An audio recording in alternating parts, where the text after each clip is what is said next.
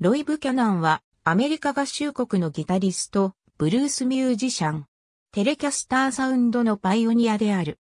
ブキャナンは他のアーティストのサイドマンとして活動するとともに、ソロアーティストとしても活動し、その経歴の初期においては2枚のゴールドアルバムを獲得している。また、後期にはアルバムをビルボードにチャートインさせている。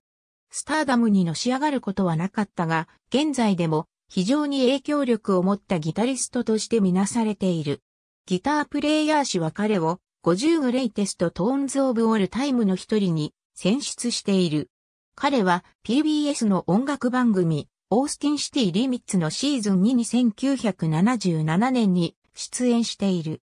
ブッキャナンはアーカンソー州オザークで生まれ、ベーカーズフィールド近くのカリフォルニア州ピクスリーで育った。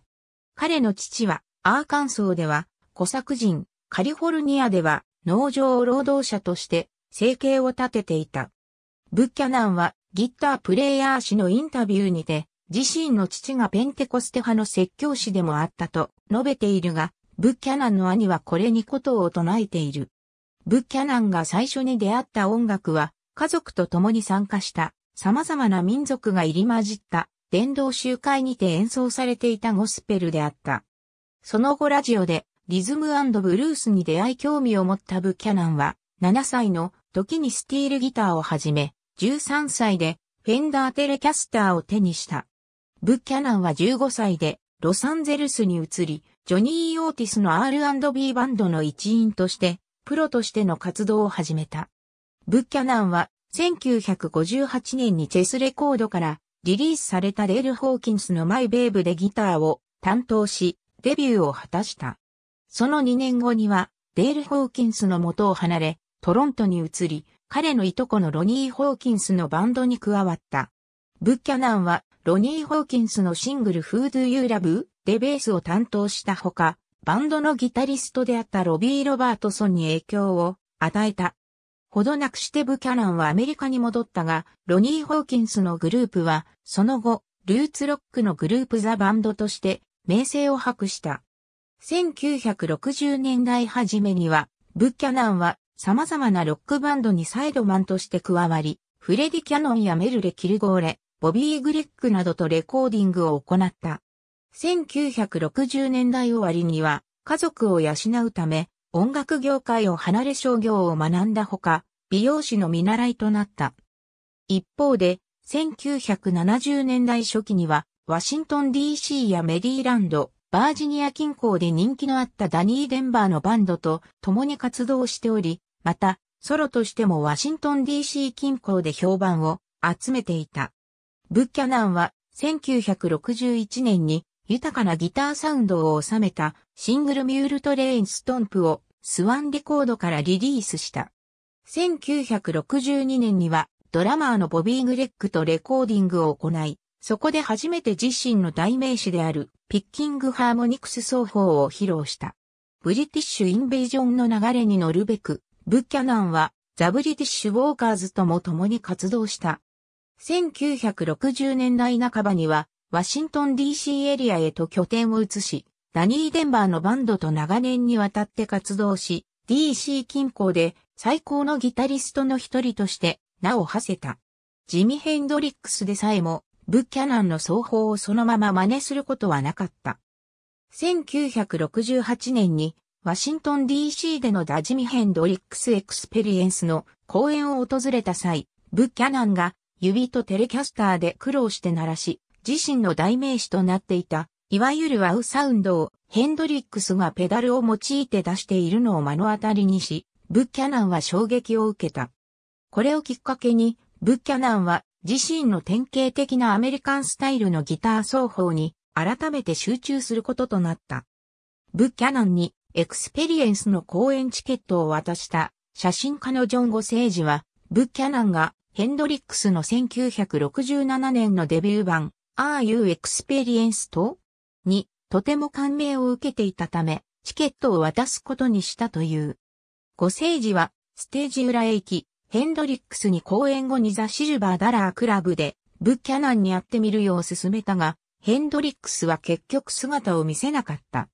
ブッキャナンはその夜にもヘンドリックスの曲を数曲演奏するなど、ヘンドリックスのことを評価していたという。ブッキャナンは後にヘンドリックスが作曲した If 6 was 9や彼のヒット曲である Hey, ジョーのカバーをレコーディングしている。ブキャナンの名前は1971年に PBS の1時間ドキュメンタリーイントロデューシング、ロイ・ブキャナンが放送されたことで全米に知れ渡ることとなった。その結果、ブキャナンはポリドールレコードとの契約を手にし、ジョン・レノンやマール・ハガードから賞賛を受けた。さらに、ローリング・ストーンズからは加入の誘いを受けたが、ブキャナンはこれを断り、ストーンズを転ばせた男としても知られるようになった。1977年には、ブキャナンは PBS の音楽番組オースティンシティリミッツのシーズン2に出演した。彼は5枚のアルバムをポリドールで収録し、そのうちセカンドアルバムはゴールドディスクを獲得した。その後アトランティックレコードからは3枚のアルバムをリリースし、1977年のローディングゾーンで再びゴールドディスクを得ている。ブッキャナンは1981年にの録音を最後に自身の音楽を自分のやり方で録音できない限り、スタジオには二度と入らないと宣言した。その4年後、アリゲーターレコードの下で、1985年に、ウェン、エーギタープレイズ・ザ・ブルーズをリリースした。これは彼にとって初めて完全に自由にスタジオ収録を行えた機会であった。1986年秋に発売されたアリゲーターレコードでの2枚目ダンシング・オン・ザ・エッジでは、うち3曲でデルバート、マクリントンがボーカルを担当している。1987年にリリースされた12枚目のアルバムホットワイヤーズが、ブッキャナンのキャリア最後のアルバムとなった。彼の代理人や、その他によると、ブッキャナンは、家庭のいざこざが原因で公共の場で酩酊したことで、逮捕された。1988年8月14日、彼は交留されていたバージニア州フェアファックス郡の刑務所の房内で、自らのシャツで首を吊って死亡している姿が発見された。ブッキャナンの近くの房に収容されていたジェリー・ヘントマンによると、朝早くに副保安官が房のドアを開け、首の周りにシャツを引っ掛けたブキャナンを発見したという。ブッキャナンの最後となったライブは1988年8月7日のコネチカット州ギルフォードのギルフォードフェアグラウンドでのステージであった。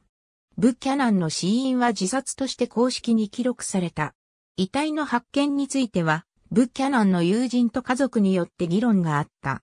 友人の一人、マーク・フィッシャーは、ロイの遺体は頭にあざがあった、伝えている。彼の死後も、コンピレーションや、その他のアルバムが引き続いてリリースされている。その中には2004年のポリドールのために録音しリリースされていなかったファーストアルバムザ・プロフェットも含まれる。ありがとうございます。